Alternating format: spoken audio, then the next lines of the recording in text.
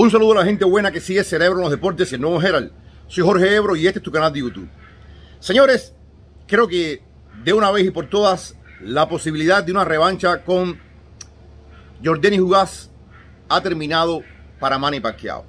Manny Pacquiao hace unas horas apenas ha anunciado en Filipinas que va a ser el representante en la carrera presidencial del Partido Democrático, uno de los principales que hay en ese archipiélago asiático y donde Manny primero fue representante, después senador, ahora, y tratará de convertirse en presidente de Filipinas el próximo 9 de mayo, que es el día de las elecciones. Se había hablado de algún tipo de pelea en enero, una revancha. Se había hablado que si no fuera Jordan y Jugás, tal vez una pelea para despedirse.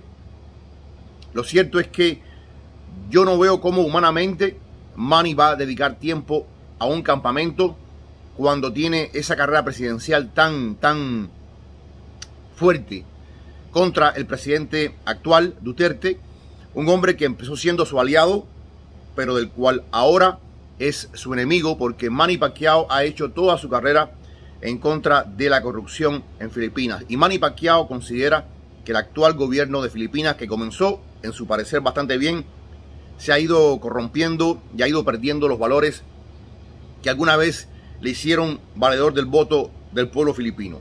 Manny Pacquiao quiere barrer con esa corrupción que él alega y quiere imponer un nuevo sistema eh, de valores que haga rescatar la confianza del pueblo de Filipinas. ¿Lo logrará? Vamos a ver.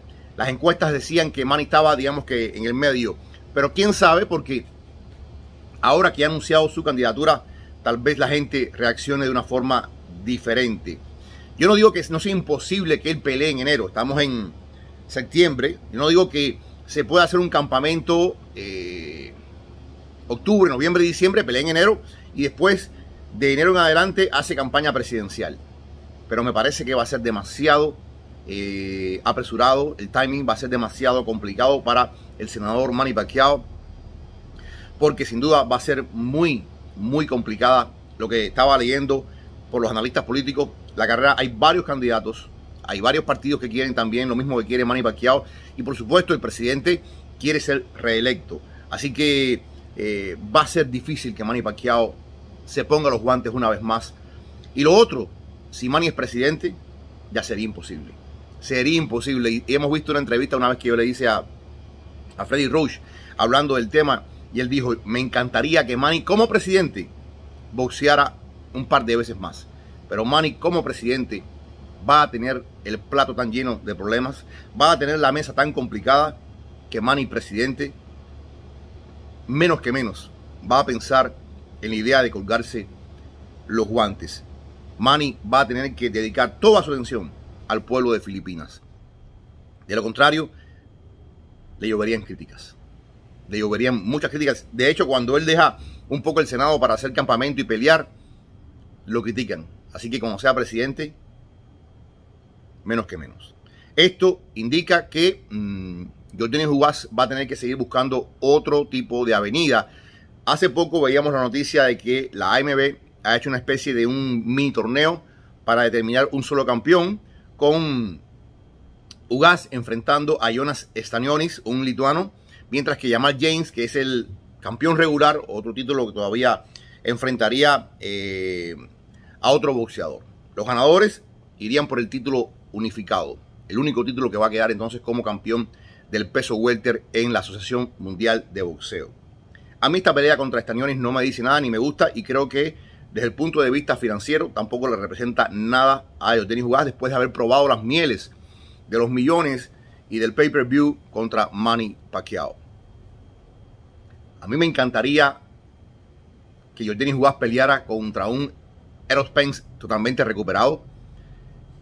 Hay que ver cómo viene el problema del ojo en Eros Spence. Hay quien me dice que va a demorar todavía un poco. A mí me encantaría que Jordan Jugás peleara contra el ganador entre Terence Crawford y Sean Porter, que pelean ahora el 20 de noviembre. No, no sería descabellado que si pelean en noviembre, en marzo o en abril, Ugas pudiera enfrentar a el ganador de esta pelea. Y como Ugas ya tiene cierta estabilidad financiera, Ugas puede esperar. Ahora hay que ver la MB si lo obliga a defender antes de que venga la posibilidad de unificar esta pelea. Pero si hemos visto lo último de Manny Pacquiao, señores, es eh, realmente impresionante. Uno es un periodista que trata de estar alejado de todo esto, pero yo ahora cuando estaba leyendo esta noticia y veía algunas imágenes de, Filipinas de Manny eh, eh, anunciando la candidatura, yo me emocionaba y decía, caramba, qué, qué clase de boxeador hemos visto. Hemos sido privilegiados, hemos sido realmente, nos han dado un regalo. Ver a Manny Pacquiao durante casi 20 años de carrera ha sido un regalo porque Manny Pacquiao viene de otra época. Manny Pacquiao viene de una era donde los mejores enfrentaban a los mejores. Quizás una de las últimas eras donde los mejores enfrentaban a los mejores. Cuando uno mira la hoja de servicios de Manny Pacquiao, a toda la gente que enfrentó y en el momento que los enfrentó, porque cuando Manny Pacquiao enfrentó a todos esos caballos que eran campeones, que están hoy en el Salón de la Fama o van rumbo al Salón de la Fama, los enfrentó en momentos importantes de su carrera. No los enfrentó cuando estaban o muy jóvenes o muy viejos. Los enfrentó justo en ese prime donde el guerrero puede entregar lo mejor de sí. Y Manny Pacquiao, uno puede decir, bueno, desde el punto de vista del boxeo puro, Mayweather fue mejor. Pero desde el punto de vista del entretenimiento, Manny Pacquiao nos dio mucho más valor, entretenimiento, que Floyd Mayweather. Manny Pacquiao cada vez que peleaba, había que verlo. Había que verlo. Las batallas con los mexicanos definieron mucha de su carrera. Las batallas con los Barrera, con los Márquez, con los Morales. Fíjense, esas batallas con los mexicanos, otro tal vez lo hubiera esquivado. Otro hubiera buscado otro tipo de guerrero. Manny nunca dijo que no. Nunca dijo que no. Campeón en ocho divisiones. Y luego están las peleas con Cotto, las peleas con Hatton, la pelea con tanto y tanto buen campeón que había por ahí en ese momento, que Manny Pacquiao, a pesar de la derrota contra Jordan Jugás, se va a ir como uno de los más grandes de todos los tiempos. Ya vamos a debatir con calma qué lugar le damos a Manny Pacquiao. Pero sin duda Manny Pacquiao deja una leyenda tremenda. Ahora va a una pelea más complicada. Ganar en el ring requiere ciertos tamaños testiculares.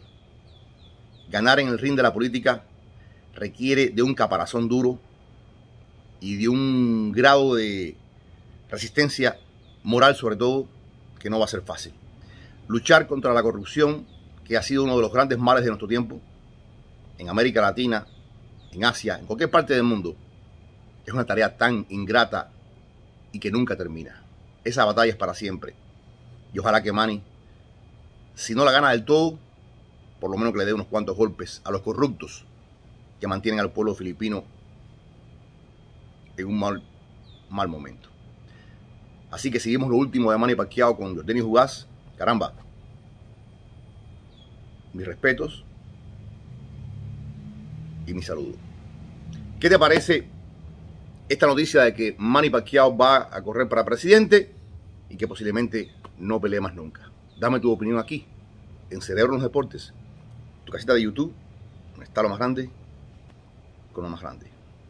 Muchas bendiciones y un like.